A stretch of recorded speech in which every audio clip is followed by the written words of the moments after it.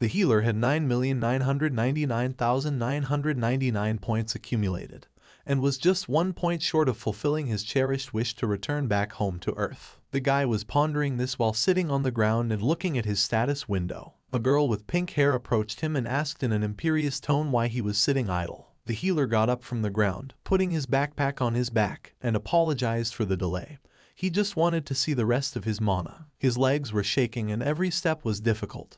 But the rest of the team didn't care about him. The girl told the healer that they should have thought about the amount of mana earlier, but now it was time to go. The boy's load was very huge. His task in the group was the most important, but they treated him like a servant. He could heal other people's bodies from any wounds, but it was not appreciated in any way and sometimes he was even called useless, although he saved the team from death more than once. The other members of the group shifted all the weight to him, while they remained light, with only their weapons in their hands. The young man came to this world as a high school student. Originally, in this new world, he was a Kopker, but he was forced to take the position of a healer, which he had been for seven years and still felt like a slave. However, if he collected 100,000 points, he could return back to his world and end the life of a servant. The three knights, and the healer behind them, walked down the narrow corridor of the cave until the leader ordered the others to stop. From the depths of the cave appeared the long legs of a giant spider. At the ends of the legs were spikes that with a light touch could cut flesh worse than a sword blade.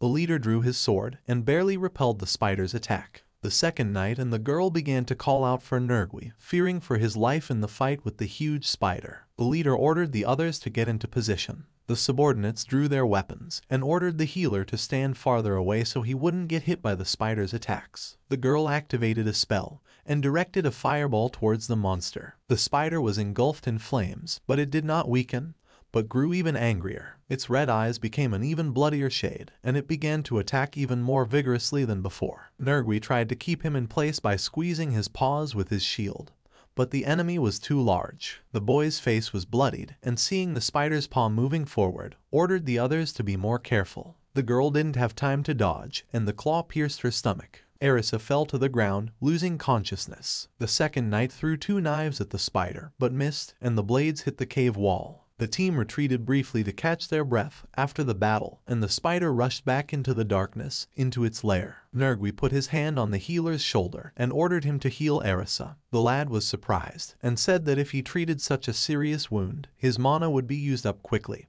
and then he would be left with no strength at all. The leader shouted at his subordinate, asking if he was suggesting to leave the girl to die, and finally forced the healer to treat the wounded girl. The young man began to treat the girl, thinking about the fact that if he had been injured, the team would have left him here to die without a second thought. He finished the recovery spell and the girl regained consciousness, after which she lashed out at the guy since she heard that he refused to treat her. She started screaming about how he dared to suggest leaving her here to die and slapped her face, whereupon the guy fell to the ground in fear, covering his head with his hands. She stepped on his back, and the healer started apologizing and saying that his mana was practically running out. Nerg asked Erisa to stop hitting the healer, and she soon calmed down. Another team member said that if a monster stronger than that spider appeared, they would no longer be able to fight back, and asked the leader what they should do now. Nergui replied that moving further in that direction would be suicide, so they should retreat. The rest of the team agreed, and the group moved in the other direction.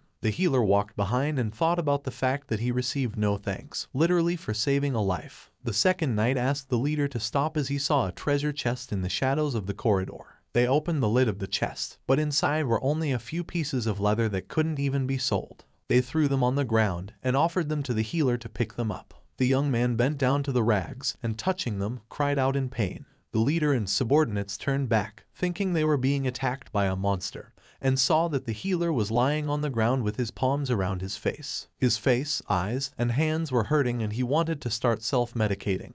However, Nergui grabbed his hand and forbade him from doing so, saying they didn't have time to be here. He asked the guy to remove his hands to look at him, and saw nothing. The leader then suggested that the one was just bitten by some insect, but the guy kept arguing that he was in a lot of pain. The team didn't believe the servant and started accusing him of hiding something from them. Nergui ordered everyone to calm down and asked the healer if he could get to his feet. The guy replied that his head was still hurting badly, and then the leader started yelling at him to remember his place and not to dare delay them. At that moment, the healer heard someone's voices in his head. A male voice said that the healer had taken damage from the trap set on the treasure chest. A female voice then chimed in, asking if this was too common for mere coincidences. The host replied that such a thing was impossible, and he, as the host, remained neutral. The girl then asked to continue the observation. The healer was startled and heard a third voice suggest to the girl that she should start putting her points into the healer's skills. She was the healer's mistress, controlling him as a character. The girl replied to the mage saying that she felt terrible about this useless character and didn't want to invest anything at all in its development.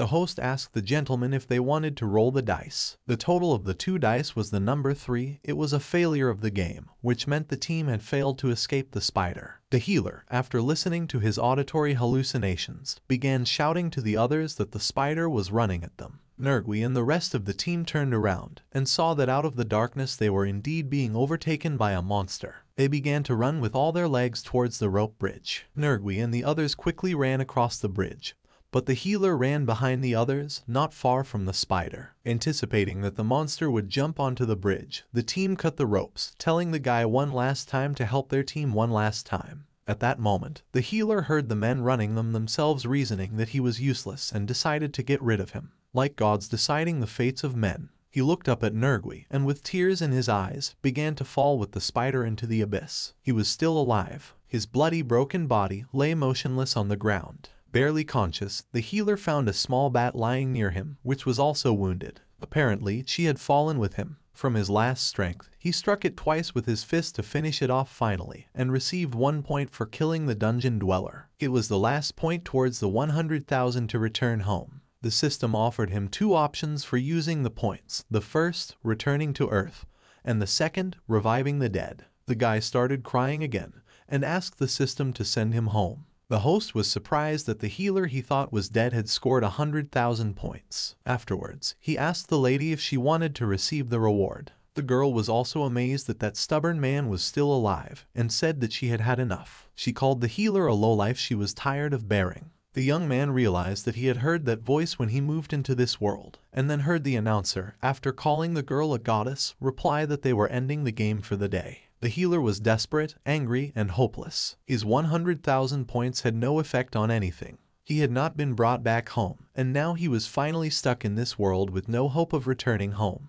He continued to lie on the ground with no strength, leaving his fist on the corpse of the bat, and called up the status window to inquire about his current characteristics. The panel said that he had been given the title of freed from fate. The guy channeled all his points into the best healing skill and reached the highest rank and title of Grand Master of Healing. He then activated the spell and channeled the great healing into his body. While his body was recovering, the healer, while still crying with pain and resentment, decided that he would not leave things as they were and would definitely avenge the fate he had received. Having fully recovered, the young man set out to wander the lower floors of the dungeon. He did not know how long he walked in the darkness, but after a while he found the corpse of a man. All that was left of the dead man was a skeleton lying on the ground and a spear that stood by the wall. Apologizing to the corpse, the healer took the spear as he had no other weapon. Suddenly, the guy saw a small spider crawling on the dead man's armor and immediately managed to grab it in his fist. Then he thought that if he didn't eat it, he would share the skeleton's fate, so he swallowed the spider. He heard the sound of dice being rolled on the numbers 2 and 3, a total of 5. It was a failure, after which he took damage from the venom of the small spider. The healer fell to the ground as the venom that spread through his body caused him pain, however, but still managed to stand and not lose consciousness. He decided not to stop and continue to think of spiders as food. He was able to catch another one and also swallow it, after which he took damage again. He continued to swallow one spider after another, and taking damage from them instantly healed himself. Soon his body got used to the poison, and began to produce antibodies, and the poison itself was absorbed into his body ability. He gained the new skill Poison Conductor, and now he himself could emit poison from his skin, poisoning anyone who dared to touch him. He spent an entire week in the dungeon eating spiders to raise his Poison Conductor level. All the while, he continued to hear the sound of dice being played and the voices of the gods. A huge butterfly with colorful wings flew down the corridor of the cave, but the guy didn't notice it as he was climbing up the wall to go to the floor above. With great difficulty, but he still managed to climb. On the new floor, the healer immediately saw a puddle of crystal clear water and ran to it, as he had been unable to find water for the previous week. He plunged his head into the puddle and swallowed greedily until he had quenched his thirst. At that moment a butterfly flew towards him, and the healer heard the sound of dice with the voice of the host announcing that it would now be decided whether or not he would dodge the attack. A total of seven fell out, signifying success, and the young man was able to dodge the monster's flight at the last moment. He fell to his knees, and on trembling limbs tried to rise, but the butterfly flew past him again. The guy then grabbed the spear from the ground and opened the status window and activated the attack skill. The characterization window then wrote that the timid coward had advanced to the brave fighter stage under the condition of being released from fate. He struck the butterfly's trunk with his spear and then killed it, gaining 37 points, and also received 2 extra points for bravery. Pulling out his spear, the healer splattered the monster's blood, and the characterization window reported that he had taken damage from the Mosrora's venom. He began cleansing his body of the toxins, and after gaining the poison art skill rank B then he realized that he could release poison during combat, which was a great advantage. He caught a lizard and roasted its meat and ate it near the underground river. A huge fish jumped out of the water and swallowed him, but he released poison and the monster was destroyed. After the remains disappeared, the guy found a small pink slime, which he named Lime, deciding to take him with him as a pet and assistant. For a long time now the healer and Lime had been wandering around, and soon the slime jumped off his master's head to show him a crevice in the wall that was hard to see. The young man thanked the little guy and entered a narrow corridor. This path was not like the others. While the entire dungeon looked like an abandoned cave, this place was paved with stones and patterns on the walls. The healer came to a dead end, an iron door that in no way wanted to open no matter how much he pushed it. Lime jumped off the guy's head again and climbed through the narrow gap of the locked door, then opened it from the inside. The doors swung open and the healer stepped inside, calling his new friend an unusual slime. The baby began to tremble with fear, and the boy sensed that danger lay ahead of them. At the last moment he was able to dodge the monster's attack. It was a huge monster with several dozen tentacles and red eyes all over its body. The guy already wanted to run away from this place, but when he met Lime's gaze, he realized that he couldn't act like a coward anymore and had to protect his friend. He addressed himself by the name Lai Shido and asked himself how long could he run away. He activated his vigilante stage and in a state of furious anger demanded the monster to give his slime back as he had managed to grab the baby. Lai Shido jumped above the ground just as several tentacles tried to grab him. He was very fast in the vigilante stage and realized that the enemy's attacks were quite slow for him. He struck the monster with a piercing spear, but it was a failure and he couldn't do any damage. The monster's skin was too tough, and the sharp end of the spear was unable to pierce it. The healer heard the announcer's voice reporting that dice had been rolled to determine if an evasive maneuver would be made. The dice played for success, and Lai Shido was able to avoid the monster's new attack. Then he saw a purple flickering light. It was Lime showing his master the monster's vulnerable spot. The guy realized that it would be difficult for him to get through to that spot as the spear couldn't pierce its armor, so he then decided to activate poison all over his body to burn its flesh with acid. He got to the vulnerable spot and brought his hand up with the poison, managing to get inside the monster. However, at that moment, he heard the dice roll again to determine his evasion, and a loss fell out. The monster's tentacles touched him, and he took damage from the lone slime's poison. Lai Shido fell to his knees, bleeding, and activated his body purification. Finishing the great healing, he rose to his feet, ready for another battle. The healer channeled the poison onto his spear and performed a center piercing directly into the monster's core. The monster in turn began to secrete its venom, and the guy kept taking damage from it. The spear penetrated, but the metal began to melt, and then Shido applied a great healing, which also did additional damage on the monster. The lone slime was defeated, but the young man could only get one point for killing it. The monster's flesh vaporized and Lime was freed. The boy wanted to rest and had already laid down on the ground, but the little guy started jumping towards the next room. Lee Shido followed him and found his little friend sitting on a treasure chest. They opened the chest and found stacks of papers inside. The papers contained a text written on behalf of Dr. Geppetto, reporting that after the defeat of the war, he had tried to create a counterattack, but had failed. The stream of God's flesh over which he was conducting research overflowed and sealed the place. Therefore, he wrote that if someone managed to discover this place, he recommended using synthesized antibodies. The guy was amazed that it turns out that all this time, he could defeat that monster using antibodies. The gods continued to watch the game, and one of the men said he couldn't believe they were still able to watch the unthinkable and imaginable antics of that useless brat. The host in the Harlequino costume apologized, but the man replied that apologizing wouldn't change anything, Because because because he was still alive, the new healer was dead. The dark-haired girl said that eventually there were three of them again.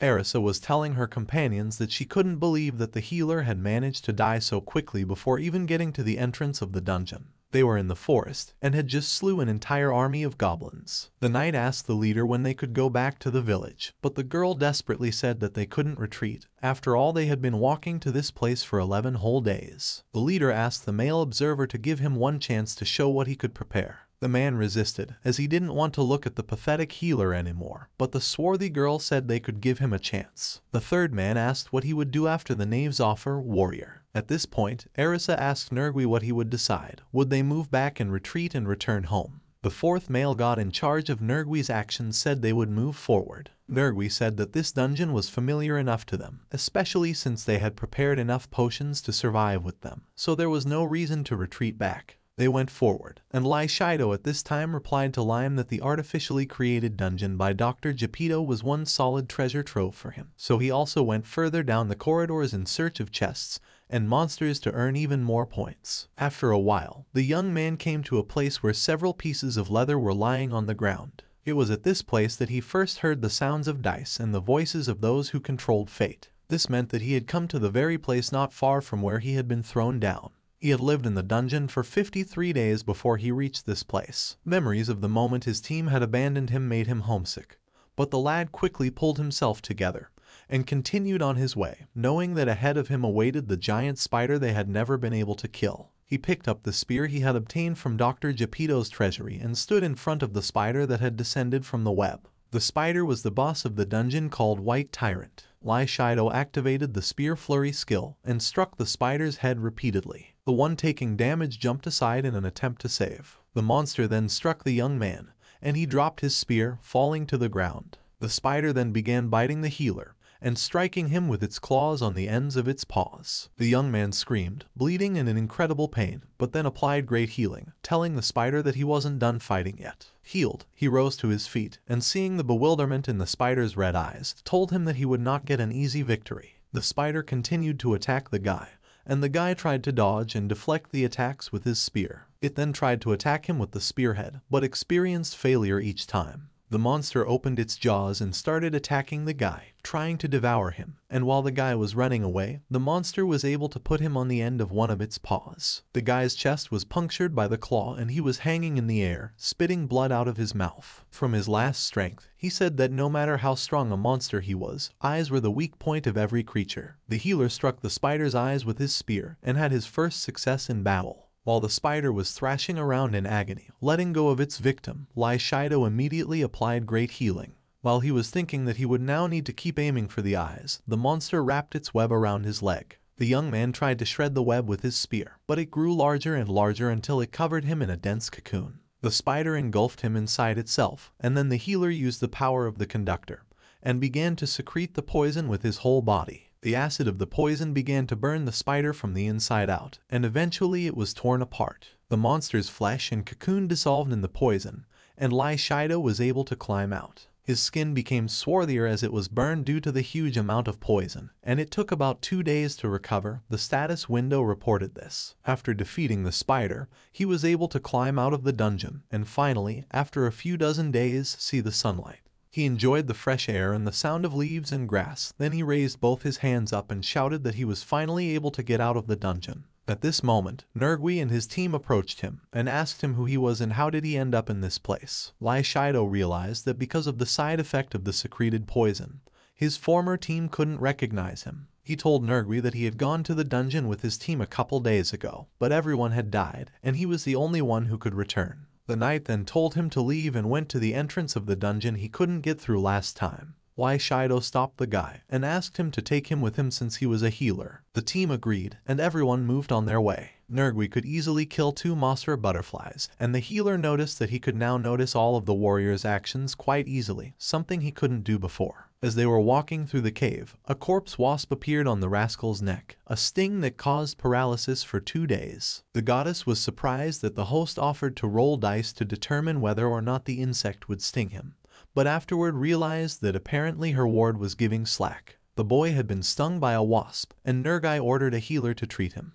The young man said the wounded man was not breathing and was probably dead, so he should be buried. Erisa refused to bury their comrade in the cave, and the leader ordered them to strip the dead man of his equipment and move on with their journey. The rascal tried to inform his friends that he was alive and not dead at all, but they left him to it. They came to a rope bridge, and the leader asked Shido if he knew the way down. The healer guided the two warriors down the path, and when Erisa hit a rock with her heel and almost fell into the abyss, he managed to grab her shoulder in time. Afterward, he said that it would have been more convenient if the bridge had not been broken, and at that moment Nergui attacked him with his sword, asking how he knew that the bridge had been broken. The effects of the poison wore off, and Lai Shido got his skin color back, as well as the spell of his unrecognizability sleeping. Erisa and Nergui recognized the healer they had thrown into the abyss along with the spider 59 days ago. Lai Shido touched Erisa's neck with his hand and applied a paralyzing poison. The girl froze in place, unable to move. He then said that he was no longer the same as before and was going to take revenge on them. He unleashed a flurry of spears at Nergui's sword, and it split into pieces. The leader of the group was amazed that the pitiful healer had become so strong. The Watchers asked the leader if he had decided to play a joke on them like that, but the leader didn't know what to say. Then the warrior manager asked the host to put all the points he had collected into a weapon for his ward. From the empty space, a large hammer suddenly appeared, glittering with golden lightning. Nergui's status window announced that it was a gift given to him from his sacred patron. Nergui took the hammer in his hands and said that he received it he his sacred patron. Lai Shido thought about the fact that the warrior was only a pawn in the hands of this patron. Nothing more. The knight began to attack the healer. The one tried to chop the young with his poison spear, but the poison had no effect on the sacred weapon. Nergui began to shoot lightning bolts at the healer, and he fell to the ground bleeding. He recognized the weapon as a Mjolnir, a divine hammer from Scandinavian mythology, and then his theory that the patrons were gods was confirmed. Lime leapt from his master's shoulder and landed on his enemy's face. It turned out to be a poisonous slime, which began to poison Nergui's skin. The latter ripped it off his face and clenched it in his fist. Out of rage, Lai Shido activated the Vigilante stage again, which boosted his abilities a few points higher. The knight was amazed that he was willing to part with his life for some slime, but the guy replied that it was a member of his team. The host suggested the god roll the dice one last time, and those fell with the success of the battle winning towards Nergui. Shido swung his fist at his opponent's face, and the latter aimed his hammer at his side to strike his head. At this point, the healer had a new ability. He could throw the dice himself to decide the outcome of his fate. The dice fell with success in his direction, and time stood still. Nergui froze in flight, and Lai Shido was able to move slightly to the side to prevent the hammer from hitting him, and then channeled the poison into his fist. Then time flowed again, and he punched the knight in the face. The poison poisoned him, and he fell powerless to the ground. Shido then decided to do to him as he had done to him last time. He threw the warrior into the abyss beneath the broken bridge. The warrior's patron god was angry and would not accept the loss, wanting to take revenge on the healer, while the dark-haired girl, the patron god of the trickster, was extremely interested in the process. The host began to apologize for what had happened, not realizing what kind of mistake could have occurred in the system. Li Shido approached Erisa, but she began to ask him not to touch her. He did not go near her, and said that the paralyzing poison would wear off in an hour, and maybe she would be lucky to survive in this dungeon, which was still full of spiders and other monsters. He walked out of the dungeon, leaving the girl alone defenseless, and ran into a guy and a girl who were brother and sister in the forest. They were holding a bound man in a wagon with a gag in his mouth. The girl caught sight of the healer and said that luck was on her side today. Lai Shido was surprised to meet people in this place. The girl was going to steal from him, but the boy told her in her ear that he was poorly dressed, so it was unlikely to get anything from him. Nevertheless, she insisted and offered the traveler a ride in their wagon. The healer replied that he wouldn't mind, but he had other things to do. In fact, he was wary of them, and was not about to get into a wagon with strangers. At that moment, he heard the sound of dice being played for his chance to escape the surprise attack. He turned around sharply and found that the girl was about to cast a paralyzing poison on him, and so he activated the anti-paralysis barrier just in time. The girl got angry and began to cast every poison and spell she knew on him. The man asked his sister to stop, as she could dissolve all the items they received. But the girl herself was soon exhausted as she lost a lot of strength. Lai Shido gained a new ability, resistance to a hundred kinds of poisons. Now it was his turn to attack, and he struck his poison-soaked fist at his enemy to show her how poison should really be applied. The girl took on her natural appearance and her ears appeared to be pointy. She was an elf. The girl asked the guy how he had gotten such power, and the guy replied that he had just gained a lot of experience since he had been in this world for seven whole years. He was surprised that all the elves were so aggressive, and having put a paralyzing poison on the pair, got into their wagon, saying that he would dispose of it and the money lying in it properly, after which he left, warning the thieves not to dare to rob anyone again. The young man arrived at the village, glad that at last he would be able to eat a proper meal, but found that the people were very unfriendly, and were careful not to leave their houses. After an hour, the effects of the poison wore off and the pair were finally able to stand up. The elfess told her partner, calling him by the name of Jiangming, that they should follow that guy's trail and retrieve their belongings from him. At that moment, a young man approached them, surprised to meet the famous witch of Yata Kona. She turned to the traveler, angrily asking who it was. It turned out to be the fallen summoner Dong Jun, a warrior who killed summoners from other worlds. He was very dangerous, and even the sight of him could be frightening.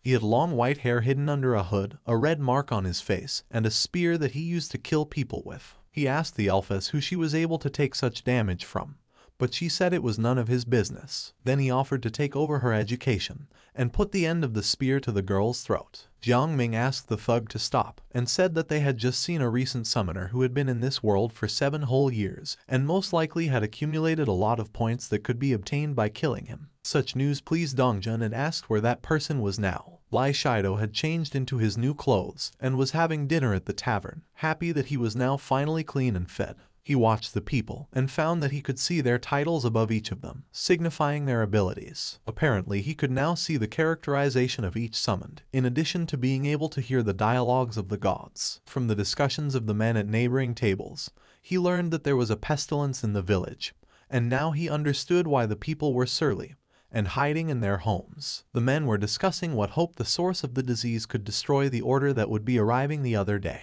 The boy, having finished eating, told Lime that he needed to leave the village soon before the order could get here, though he wanted to spend the night in a soft bed. He got into the wagon to leave, but suddenly saw a spear flying in his direction. The spear grazed the horse's head and crashed into the wooden cart. Dong Jun was surprised that his victim was able to dodge his spear. He took off his hood, revealing his face to Lai Shido. The latter immediately recognized him as a fallen summoner, as the red tattoo was more than just a mark. Each pattern signified a slain person. The tattoo was half of his face, which meant the guy had killed a lot of people. The healer told the thug that he had spent all his accumulated points, so there was no point in the guy attacking him. But Dong Jun said he would test his fame for truthfulness after he killed him. He tried to land several blows with the spear he had pulled out of the cart beforehand, but Lai Shido dodged the blows every time. He then touched his opponent's neck and applied a special poison that destroyed nerve cells. The fallen summon instantly fell to the ground and died. Since the horse was killed, the guy couldn't leave, and to hide from the order, he climbed the wall of the fortress that was built around the settlement. His personality level was full, and then he realized that if he acted in a way that didn't fit logic and reality in the god's view, his personality skills would increase. On the wall, he saw that many people in light robes with staffs in their hands were pandering below. It was the order that had come to purify the village of the disease. The gods gathered in the hall for the game and began to ask the host when they would begin. From their noisy dialogue, Lai Shido learned that they had created the epidemic for content, an interesting spectacle. This meant that human life meant nothing to them. The members of the order were uncomfortable with the fact that they had built a wall around the village to keep the virus from spreading.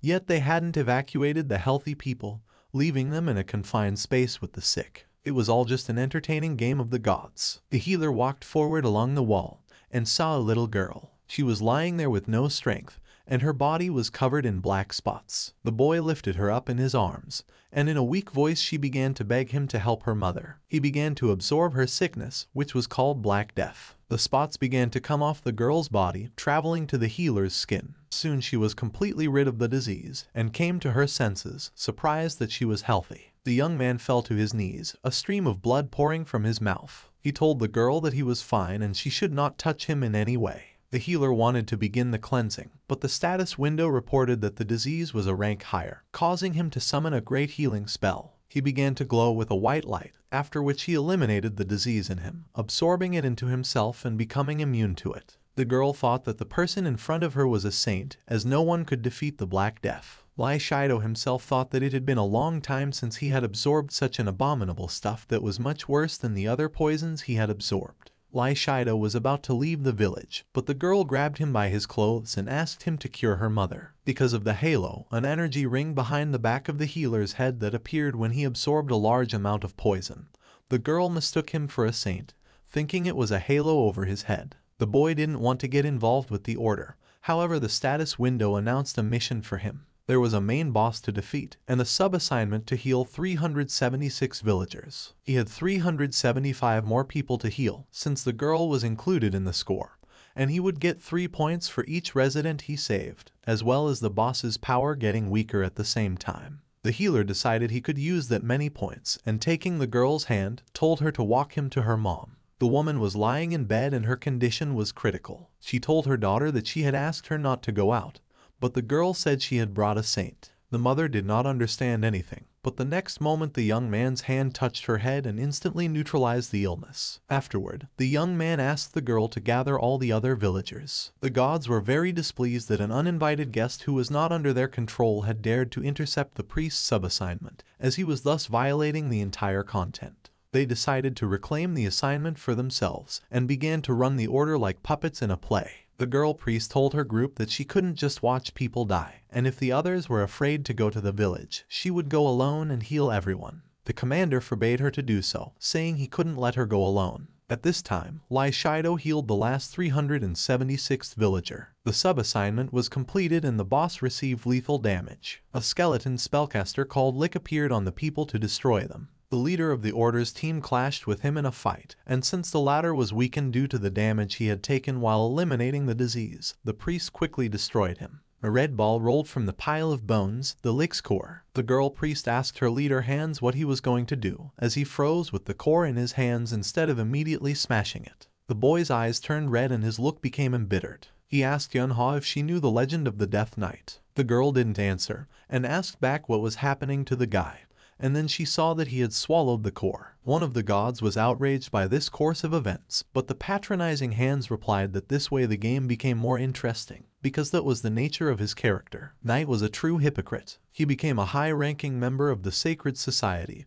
and followed the legend of the Death Knight to gain even more power. It was very intriguing and the patronizing god was hoping to win. The host rolled the dice, and they played to lose. Hans couldn't take the power of the Lich's core and died instantly. The patron experienced annoyance, but quickly forgot about his ward, believing he could summon someone else in the future. The other god then decided to play big and direct the battle to turn the tide, while summoning an uninvited guest into the arena. Lai Shido, after curing all the people, told them to go to their homes, and afterwards, believing that the boss had been destroyed, also wanted to leave the village. Yunha sat beside her dead friend and hoped that he was alive by applying her staff's healing spells on him. However, it didn't work, and Lich's spirit had taken over the corpse under its influence. The Lich was a necromancer mage. Han's body turned into a skeleton that possessed magical power. Yunha tried to destroy the monster with her power, but her spells were weak and couldn't do any damage. Then Lich summoned an army of undead, and the gods offered Lai Shido to fight the boss, and gave him a new sub-assignment, to protect 376 villagers,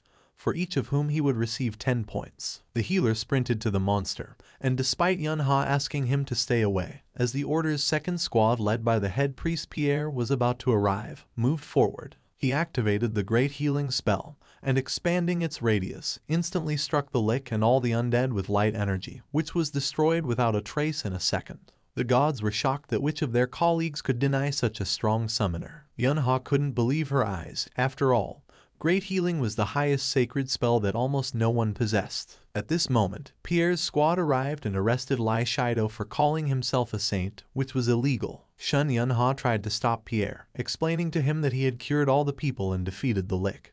But the priest was relentless and strictly enforced the law. He wasn't going to find out the details of Han's death right away, and believing that Lai Shido had killed him, took him captive to be interrogated afterward. A crowd of people gathered in the square and began to beg Pierre not to punish the saint, to be in an advantageous position. Lai Shido summoned a halo like a halo over his head and said that he was a secret inspector sent by the Holy Virgin. Upon seeing his affiliation with the saints, people fell to their knees and began to pray to him. The healer noticed in the crowd an elven girl and her accomplice, who, despite the situation, came to take revenge on him. To gain the trust of the Order, the boy decided to give them the thief, and using the power of poisons, took off her human disguise. He told Pierre that on his way here on a mission for the saint, he had discovered this stranger who turned out to be an elf stealing from people with his accomplice. Pierre recognized her as the Witch of Cana Poison and ordered his soldiers to arrest her, after which he began to apologize to Lai Shido for his accusations and thanked him for catching the witch. The healer then said that Hans died helping him in the battle against Lich and died as a hero. Yunha looked at Lai Shido and he quietly told her that it was better not to say that he Hans was the culprit behind the Lich's revival, or else the Order of Saints would lose the trust of the people, and the girl obeyed him, marveling at his wisdom.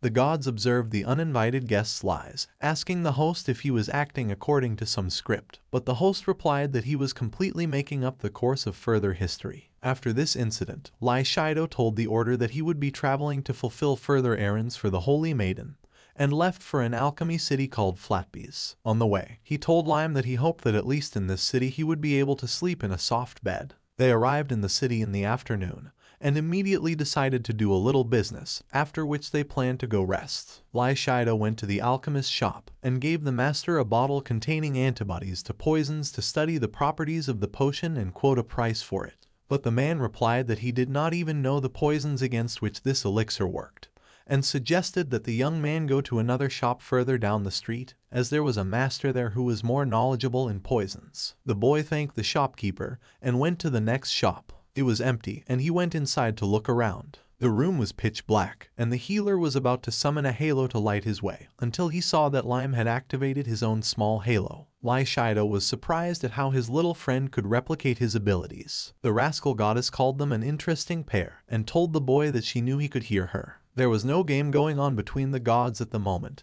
and she came to see him in person. She stood beside him, but her body belonged to another dimension, so he was unable to see her. He wanted to chase the goddess away, but she offered him a contract to participate in the games on her behalf, and in return she would give him points and help him find the goddess he wanted to take revenge on for leaving him. And if he didn't agree to this offer, the trickster could then tell the other gods about his ability to hear them, and then he would get a lot of trouble from them. Pluth asked the guy, had he already forgotten the goddess who had called him to this world and then abandoned him? Lai Shido remembered his revenge, and realized that a contract with Rascal would be the best option to get to the traitor. The girl hugged the guy, but he couldn't see her and said she could justify his trust. If she dared betray him, she would tell the rest of the gods that he had heard her voice. The young man didn't see how that could hurt her, and the goddess explained that he was the mistake of the game. And if everyone found out that she was withholding information about what he could and could hear, the supreme deity would immediately kill her. The healer agreed to the contract, but before signing it, he asked the goddess her name. The girl replied that she couldn't use her real name, and asked to continue calling her Rascal she said she had to summon the game's host, as it was impossible to register the summoner without him. The healer asked the patroness if it wouldn't be dangerous if someone else found out about his secret. But the girl replied that the host was a trustworthy person who didn't reveal the secrets of the gods. The host in the Harlequino mask appeared in front of Rascal and asked her what she needed. She asked to register the summoned Lai Shido for her patronage, and reminded the host that this was her plan for the game's plot development, as this person could hear them. The host became frightened, telling the girl that if the supreme god found out about it, he would kill them immediately.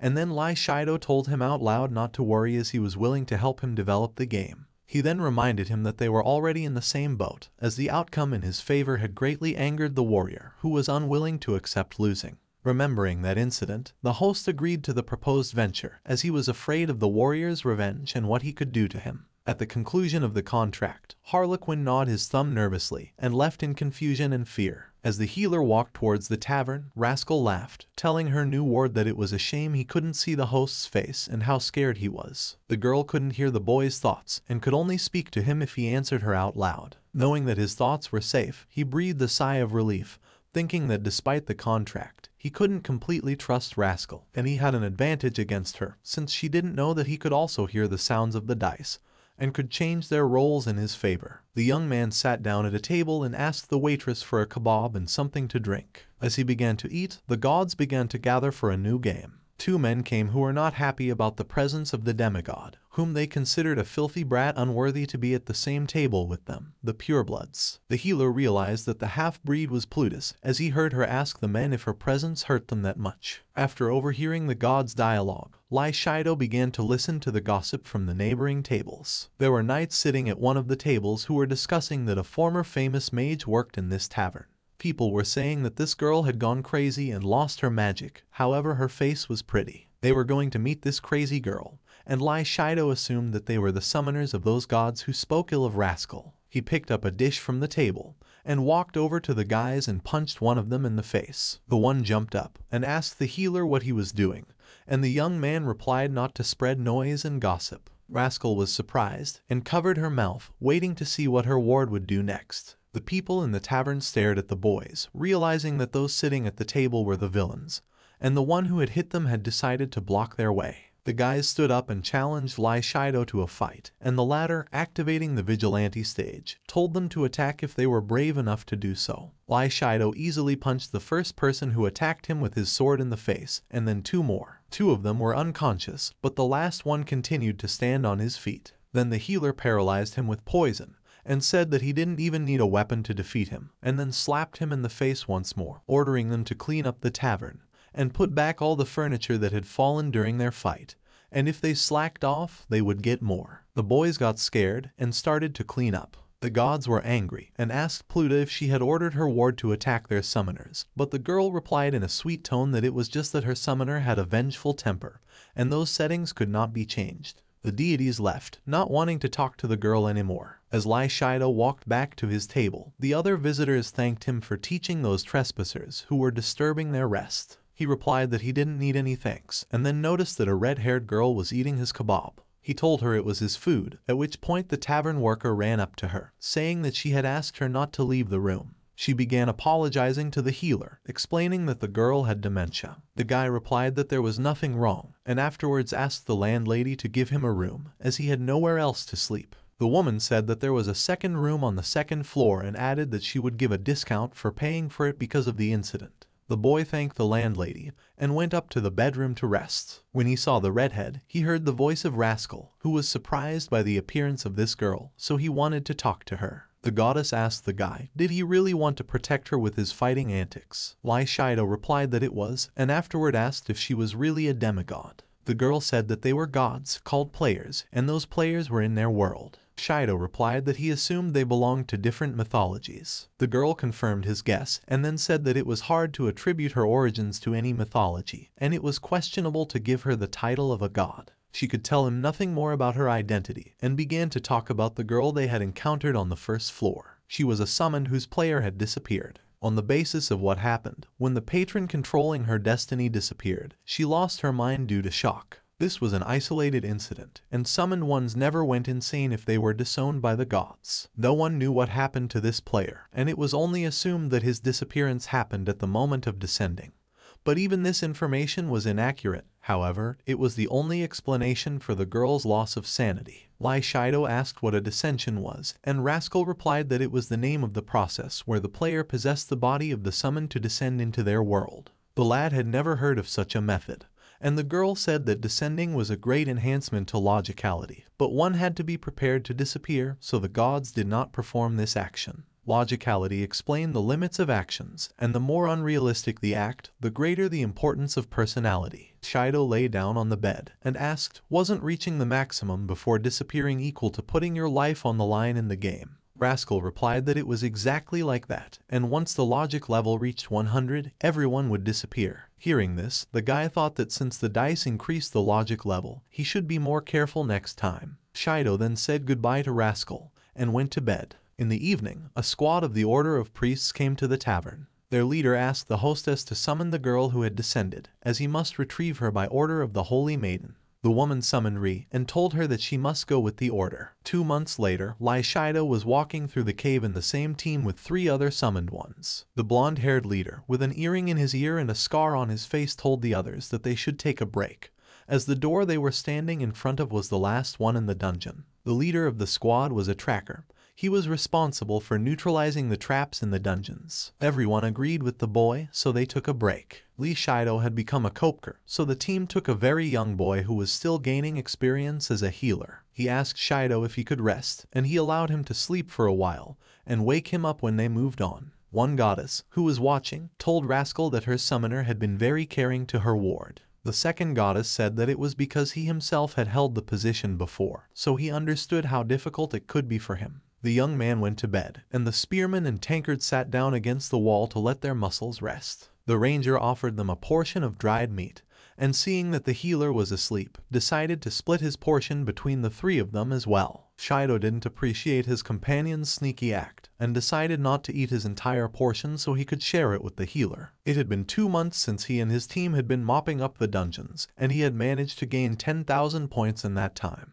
His team was reliable, and he was glad to have joined them. However, the Pathfinder player suddenly said that the meat was poisoned with fly poison, and his charge was actually a fallen summoner. He rolled the dice to decide whether the team members would be poisoned by the meat or not. Upon hearing this, Shido told the girl as a tankard to stop eating meat. This act turned the tide, and the dice drank on the losing side. The effects of the poison had no effect, and the former healer struck the tracker with his spear, cutting his throat. Tanker asked if the man wanted to kill them, and then Lai Shido showed her the red pattern tattoo on his neck that was hidden under the collar of his jacket. It was the mark of a fallen summoned one. The player in charge began to ask Rascal how her charge was able to determine that the meat was poisoned. The girl explained that Shido had the ability to habituate to a hundred kinds of poison, and identifying such a simple poison was easy for him. The god became angry and left the canal, no longer wishing to observe what was happening. Tanker realized that Shido had protected them, and was surprised that there was a traitor in their squad.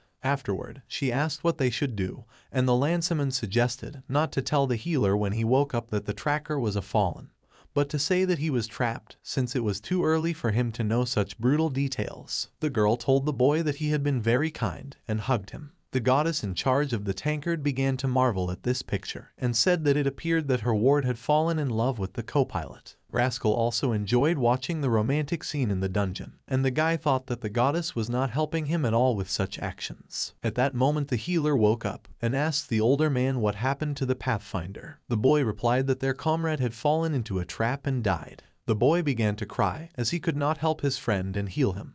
But the hen began to comfort him, reassuring him that he was not guilty of anything and should move on so that their friend's death would not be in vain.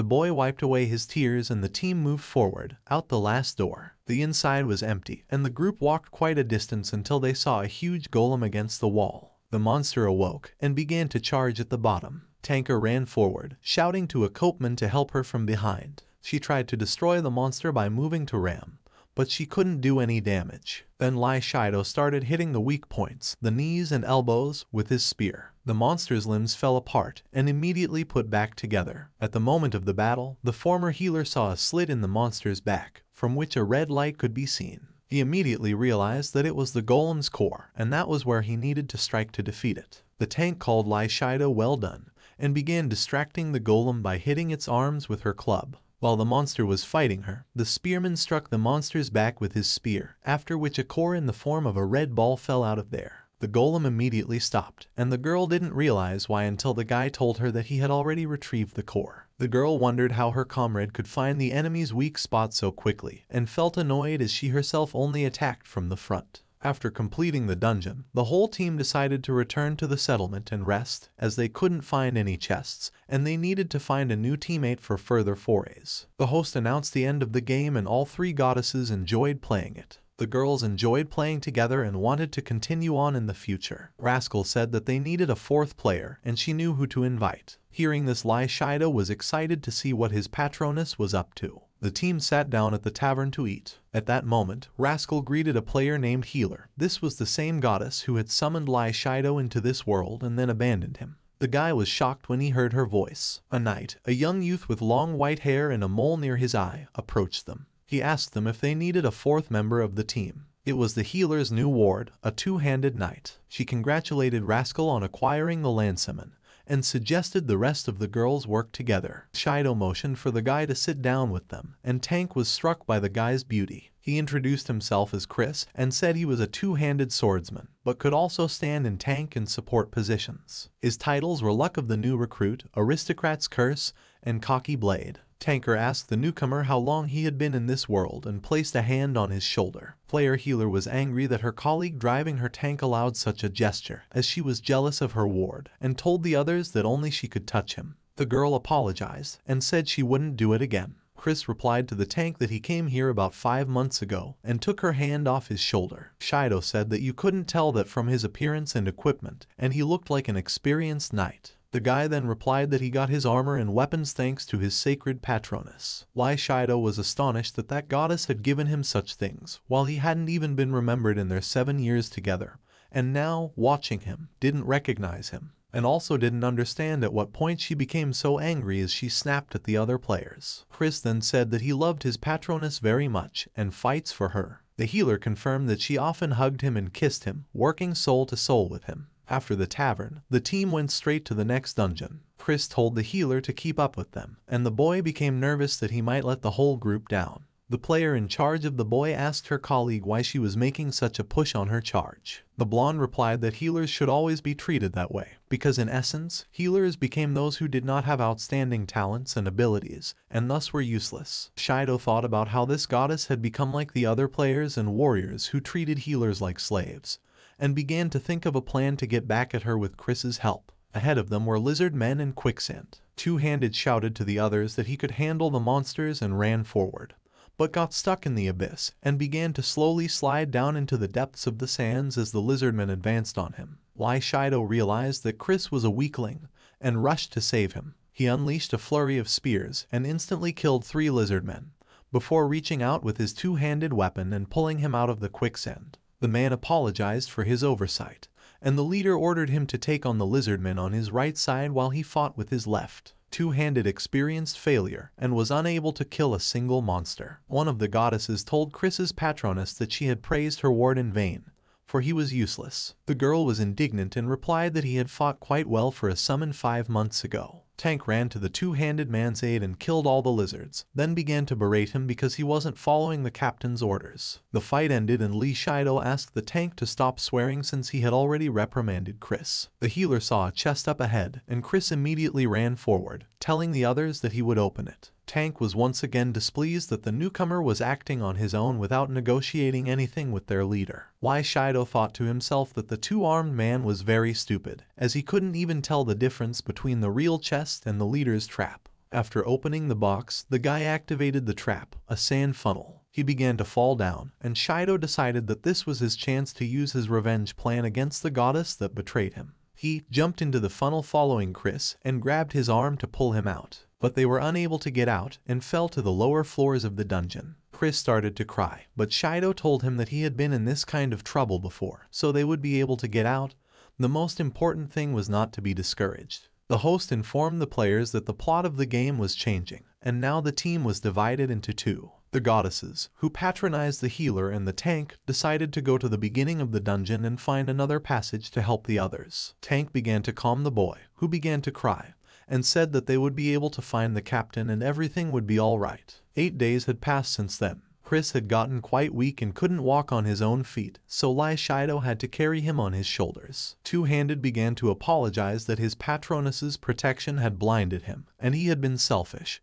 But now he had an epiphany and wanted to work for the sake of the team. The spearman told him that he had found them food, and the lad rather wanted to see what edible the man had to offer him. It was spiders. The goddess was angry that the copeman was offering her summoner to eat spiders, and forbade Chris from accepting them from him. Shido, on the other hand, said they were not poisonous, but one must endure the unpleasant taste, and then threw one spider into his mouth. The blonde continued to be indignant and tried to control the actions of the two-armed man but he heeded the leader's advice, and not wanting to continue to be a burden, asked for one spider for himself to eat. Lai Shido and Chris had already been wandering around the dungeon for 11 days. Two-Handed asked the captain to give him another spider. He was no longer squeamish of such food, and was beginning to get used to the bitter taste. Shido slowly fed him the spiders, amazed at how he was changing and becoming a more resilient spirit. He relinquished his portion and handed it to the warrior. The goddess continued to get annoyed every time her precious Chris ate such crap. Suddenly, the announcer announced that a salamander, a huge lizard that lived in the lava, was ahead of the travelers. Chris asked the captain if the monster's meat was edible. The lad replied that they would find out when they killed it, and the two armed man ran forward to slay the monster. She did her best to strike, and eventually the lizard's skin sliced and thick and hot blood spurted in different directions. Rascal told the healer that the salamander emitted lava instead of blood, and the latter had sent her ward to fight her with swords in vain.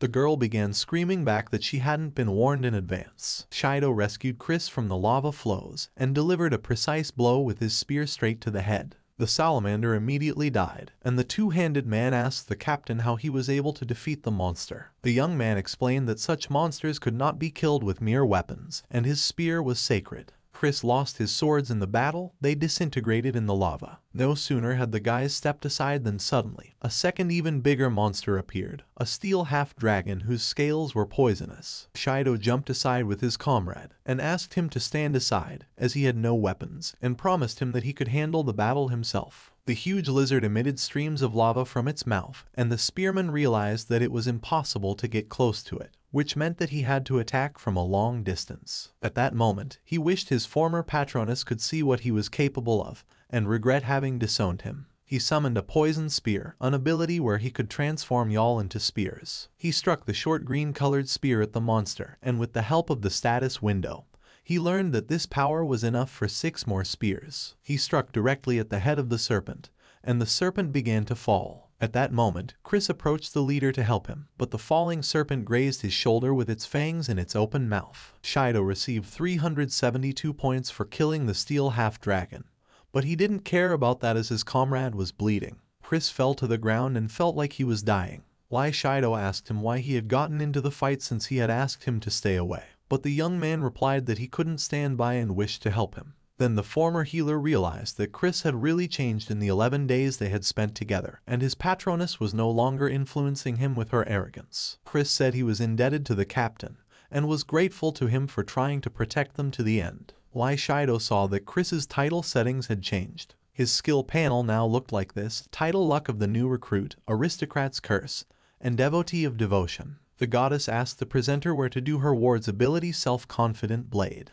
The host said that the character's settings had changed the moment he got hit by He Monster. The girl then demanded to change the settings back, but the manager replied that it was impossible because she didn't have enough points to do so. Chris said that he had always been lucky as he had gotten high-end equipment and skills right away, but now Hyun had shown him what it meant to be a true hero summoned. Now he knew to be kind with the weak and strong with the strong. He began coughing up blood and asked the leader to tell the healer his apologies. Shido told the two-handed healer that he could apologize to their comrade himself, and then activated the great healing ability. The two-handed goddess saw the halo behind Shido's back and marveled that he was a master of divine skills. Chris came to his senses and saw the radiant leader. The one told him that he was kind to the weak, as he himself had been a simple healer in the past. He asked the boy if he realized how important a healer was. After all, healing was the only way he could survive, and it was an extremely important skill, without which it was impossible to be in places like this. Afterwards, he suggested that Chris learn the skill himself, and the knight agreed. Then the young man asked what kind of halo was above Shido's head, and he replied that it was a halo. Chris wanted the same glowing ring, and the leader replied that he could get it, but first they needed to get out of the dungeon. On the way out of the dungeon, Shido told him that the halo could be obtained by mastering a divine skill such as healing or purification, but that you had to invest a hundred thousand points into the skill. The guy replied that he didn't have that amount and only had 10,000. Shido suggested that Chris invest all the points in the patron's defense skill, and then he would become stronger, and he would have opportunities to earn even more points to further develop healing skills. The young man agreed, and put all the points into the defense skill, leaving his place to save up points for when he meets his goddess. The player was enraged as her ward denied wanting to meet her, and decided to become a healer. Lai Shido told Chris that his goddess would definitely be happy with this decision of his, because now he was definitely becoming a hero ready to protect people. But the two-handed player left him, just as she had once left the healer. Lai Shido and Chris moved further down the cave, and soon came to a crevice. The rascal informed her ward that something had happened and someone wanted to break into their channel, so she and the host were leaving the channel. Shido realized there was danger ahead, but Chris was already running ahead. When they went outside, they saw the fallen summoned one. His face and arm were completely covered in tattoos, which meant he had killed a great many summoners. He asked which one of them was the healer. Shido told Chris to step aside and decided to talk to the knight. The one replied that his patron had ordered him to destroy the healer using poisons. At that moment, the spearman heard a divine channel, joined by the warrior player. He channeled his new summon to take revenge on him. Shido realized he couldn't avoid the fight, but before they started fighting, he asked the fallen man how he knew where to find him. The guy then replied that there was nothing special about finding him, since the writing was already on the wall when he woke up. Lai Shido didn't understand his opponent's answer and asked him again, what did he mean by that? When the fallen man woke up, he saw an inscription on the wall that included the location of his victim as well as a kill assignment. Lai Shido wondered why other players didn't leave their summoned inscriptions. The warrior stood up and said it was time to end the dialogue. Shido began to attack him, spraying poison and activating a vigilante stage. But he created a shield using mana and prevented the poison from getting to him. Shido then summoned a barrage of spears. The fallen man didn't have time to dodge, and was hit by the blows. After using mana as a shield, he was very weak, and the spearman was able to wound his arm. The warrior stood up, bleeding, and said that his previous victims were much weaker, but he wasn't going to lose to him. The player realized that the former healer was very strong, but still wanted revenge on him. Shido realized that the fallen man's strength was running low because the warrior was producing a downfall and killing for him. This was exactly what Rascal had told him about, which was why the other players didn't leave messages for the summoned, so as not to create contact between them and take away the character's powers. The warrior asked the host how many times he had gone down in total, and the manager replied that it had happened 53 times, and the number was not recommended to be raised. However, the god decided that he could be present on the ground for three minutes, and that would be enough for him to kill the healer. Oni condescended down, taking his character's place. A pumped-up man with a red beard and braids appeared in front of Lai Shido. He summoned his hammer, which was behind the back of the spearman,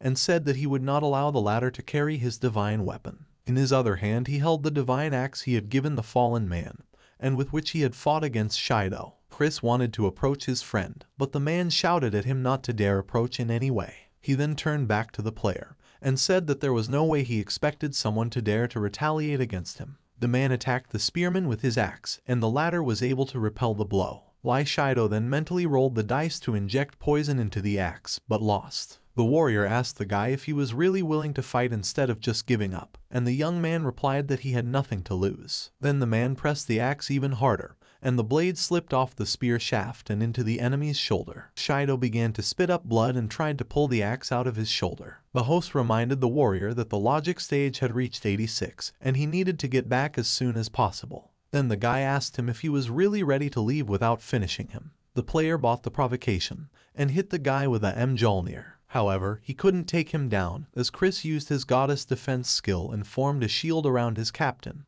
then dragged him away. Shido thanked the guy, and while he had a small distance advantage, applied great healing. The warrior continued to fight the enemy, and soon the number of his presence in the dissension reached 100. He didn't notice how he missed the count, and wanting to kill the enemy, he himself was killed. He was torn apart, after which he disappeared. In his place appeared a fallen arrival, who hit his head on the ground and died. Lai Shido received victory points, and also received negative logic points of minus 13. He thought about the fact that he needed to minimize his contact with Rascal so that he wouldn't end up like that fallen one. Chris was surprised that the patrons could go to their world with him, and Shido asked him to keep quiet about it and not tell anyone. Thoth made promises and asked the captain where the god might have disappeared to. The spearman lied that he thought that that patron had most likely returned to his world. He then suggested that they return to the village. When they arrived at the settlement, he ordered Chris to find the rest of their team while he went about his urgent business. Rascal made contact and began apologizing to her ward for leaving abruptly, as she feared she would get trouble from the warrior by her presence. The young man held no grudge against her and said that now she would not have to see the warrior since he had killed him.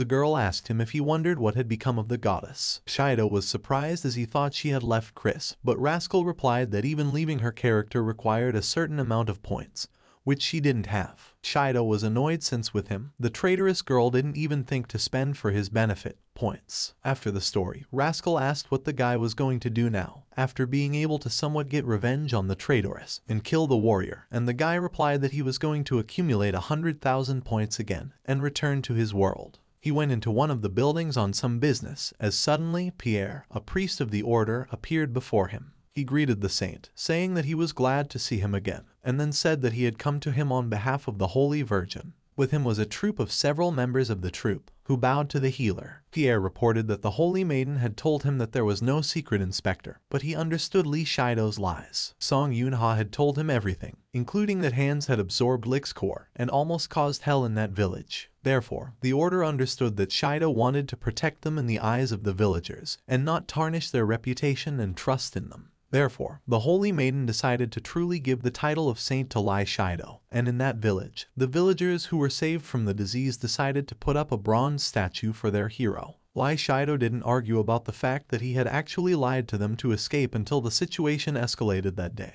and was shocked when he found out that they were putting up a statue in his honor, thinking it was unnecessary. Pierre asked him to be sent with them to meet the Holy Virgin to go through the ceremony for the title of saint. Lai Shido realized that he wouldn't be able to escape, so he went with the squad to the main building of the order. When they arrived at the palace, Yunha ran up to them and greeted the saint, expressing that she was very happy to see him again. As they walked down the corridor to meet the Holy Maiden, Yunha told her colleagues that the traveler who had arrived was the legendary hero saint who was able to single-handedly defeat the undead army. Everyone saluted and bowed at the sight of Lai Shido, and the latter felt awkward. When they approached the room where the Holy Maiden was, one of the guard knights asked Lai Shido to leave his weapons in the hallway and also not to step over the cloth that covered the maiden, as no one dared to look at her face. When Shido stepped inside, he stopped hearing any players. Then he heard two female voices simultaneously saying the same words. The maiden, hidden behind a curtain, greeted the hero and asked him to join her order so that they could do justice together. The young man accepted the offer